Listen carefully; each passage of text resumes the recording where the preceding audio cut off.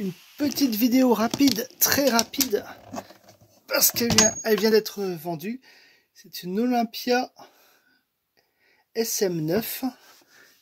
C'est une superbe machine. L'avantage, c'est qu'elle est entièrement en métal. Même le, le capot est en métal. Ça se fait vraiment comme un capot de voiture. Il y a un peu de couleur dedans, mais tout est en métal massif. Elle est magnifique. C'est une machine dont le gros problème quand je l'ai eu est ici. La colle qui tenait la bande de, retour là avait coulé et avait euh, saisi euh, dans le caoutchouc et dans la colle l'ensemble des marteaux là et bah, absolument rien ne marchait.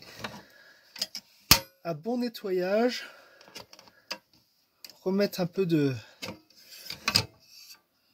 dégripper légèrement, mais elle était pas très grippée, huiler ce qu'il fallait, mais pas trop. Remettre un ruban neuf et elle marche parfaitement bien. Alors, le verrouillage est là.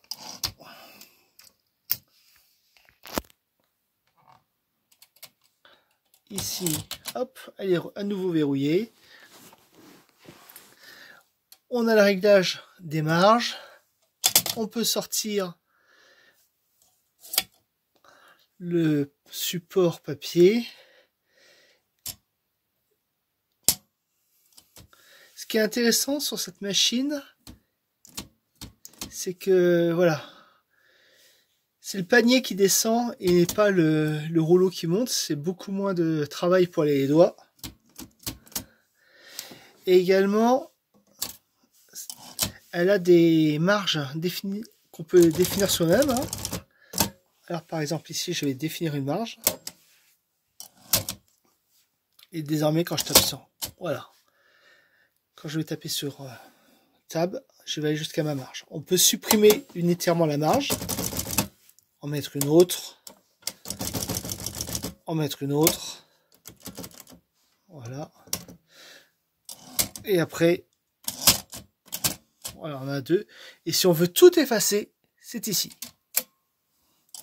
Voilà, et là,